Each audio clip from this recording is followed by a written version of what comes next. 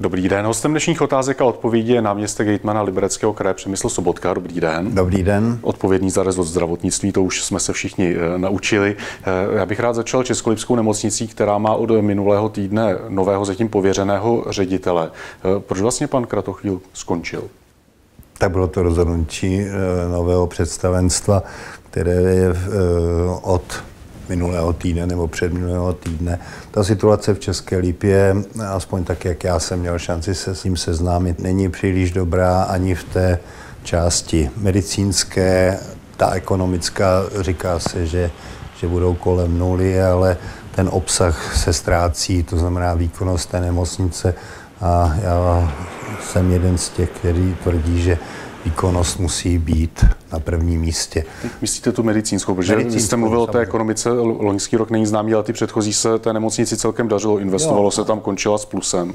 Jo, to chraň Bůh, že bych spochybňoval, eh, jestli je někdo v černých nebo červených číslech, ale eh, kromě těch účetních údajů je potřeba také se podívat, jaká je nálada pacientů, kteří směřují nebo nesměřují nebo objíždějí. A eh, je potřeba napravit ten obraz, protože v nemocnici je řada vynikajících lidí, doktorů, sester a tak dále ale eh, je potřeba, aby ten pacient vrátil tu důvěru a chodil do té nemocnice a tím pádem hlavnímu, kdo platí za péči a kdo, kdo živí nemocnici a personál je pojišťovna a tam je potřeba mít dostatečný počet těch výkonů. Českolipskou nemocnici teď dočasně vede Pavel Marek, který je tam současně předsedou představenstva a také předsedou představenstva krajské nemocnice v Liberci. Když zůstaneme u té české lípy, jaký tam teď bude další postup? To se zeptejte jeho, to je první věc, protože teď se to musí stabilizovat a je potřeba, aby byli jsme tam kdy? Minulý týden v úterý jsme tam byli na setkání se zaměstnanci a mě bylo trošku smutno taková ta neaktivita a, a ten smutek v očích u zaměstnanců. Já si myslím, že každý by měl být velkým patriotem té své nemocnice, říct si to za své a říct si, no tak já to vydržím, ty peníze zas tak špatný nejsou. A jestli toto se tam neobnoví u těch zaměstnanců, tak to taky bude velký problém to napravovat. Předpokládám stabilizovat e, základní obory, najít tam prostor na to, kde se dá spolupracovat s Libereckou nemocnicí, protože Česká lípa, tam je stoprocentní majitel eh, kraj. kraj a v Liberci jsme majoritním a, a donutit v podstatě vedení, a to byl taky jeden z důvodů, proč pan ředitel Kratochvil odešel, špatná komunikace a spolupráce, protože Liberec měl převis pacientů z České lípy, místo toho, aby Česká lípa je tam léčila. Takže zeptejte se nového ředitele a já věřím, že v Brzku bude vypsáno výběrové řízení a bude tam reálný ředitel.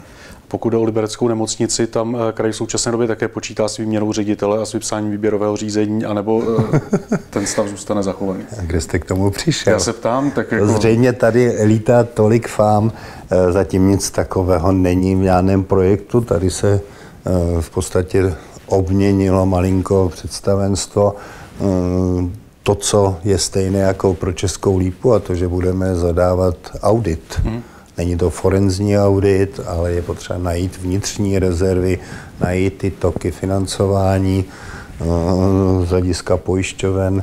Takže to je smysl řádného hospodáře, což jsme tento okamžiku my. Takže v zásadě, pokud jde o ty audity, které se chystají eh, v Liberecké českolipské nemocnici a v záchrance, tam nejde o to vyšťourat všechno špatné, co se stalo v minulosti, ale spíš se udělat takový snímek roku 2017, jak ta nemocnice, případně záchranka v současné době vypadá, aby kraj věděl, co s ní dělá do budoucna? No je potřeba rozklíčovat, jak tam protože poslední audity byly třeba v záchrance tři roky zpátky nebo ještě díl. A kde jsou rezervy, kde je možno e, nastavit parametry větší výkonnosti, protože to je jediný možný cíl dostat tu situaci v těch našich zařízeních a, a záchranka je, my jsme stoprocentně do této příspěvkové organizace jednak e, ji vlastníme a jednak dvě třetiny nákladů do toho neseme my a musíme vědět, jak ty peníze tam tečou. Kdy počítáte, že budete mít výsledky těch auditů? Tak začíná se se záchrankou, teď se v podstatě zadávají parametry a, a musí na to být samozřejmě výběrové řízení, to se nedá udělat tak, že jedna paní se přihlásí a dostane to, takhle ne. Počítáte tedy do konce letošního roku? No to musí pokud být do toho, to musí být někdy do konce prázdnin nebo nejdýl podzim. Vy už jste mluvil o tom, že by si kraj představoval užší spolupráci nemocnice, věc, o které se tady taky uh, už nějaký měsíc diskutuje. Mluví se o, uh, nevím, společných nákupech, uh, nějakých společných ekonomických postupech. A dá se jakoby víc a podrobněji popsat, jak by ty nemocnice mohly spolupracovat. Protože zatím ta spolupráce, když to vnímám optikou Liberce, je taková, že když někde někdo nemůže, tak se ten problém přehodí do Liberce a tady se nějak vyřeší, což asi není úplně optimální řešení. To, to fakt není optimální a je potřeba, aby ty nemocnice si rozdělili tu medicínskou roli, která je a, a potom dali ten ekonomický moment, to znamená, ať už je to praní prádla a nákupy a tak dále, protože množstevní sleva existuje samozřejmě. A já si myslím, že u těch našich nemocnic to v Brzku dokážem, respektive vedení, management. Já nikdy nebudu dělat z té pozice náměstka ředitele těch nemocnic, ale jsem tady o té role moderátorské a, a tak dále. Ale problém větší je, že ta síť tady má roztříštěné eh, vlastníky a, a přesto to jde. A typický příklad je Liberec Jablonec, za mého medicínování eh, jasná nevraživost a dneska schopnost ekonomicky, ale i medicínsky spolupracovat. Takže to bych řekl, že je cesta, kterou musíme jít. To znamená, že eh, Jablonecká nemocnice z vašeho pohledu do té páteřní sítě a do té spolupráce mezi eh, nemocnicemi v kraji zapadá celkem bez problémů, jestli tomu dobře rozumím. Pokud jde o, to, o ta další větší zařízení, což by byl, předpokládám, zejména Friedland a potom eh, se byli spolu s Jelemnicí.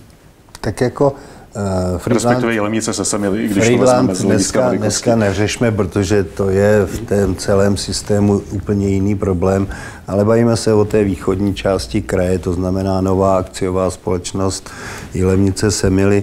Tam si také musí to sednout, protože je to nová věc od uh, konce roku.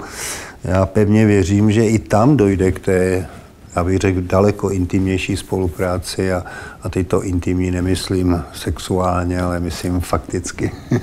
tak eh, pojďme ještě k poslednímu tématu, na které bych se rád zeptal. Eh, s jakými pocity jste zaznamenal zprávu o tom, že Liberec, teď myslím město, eh, podle všeho vyřešil problém s věcním břemenem, které bránilo rozvoji výjezdového stanoviště záchranky na letišti?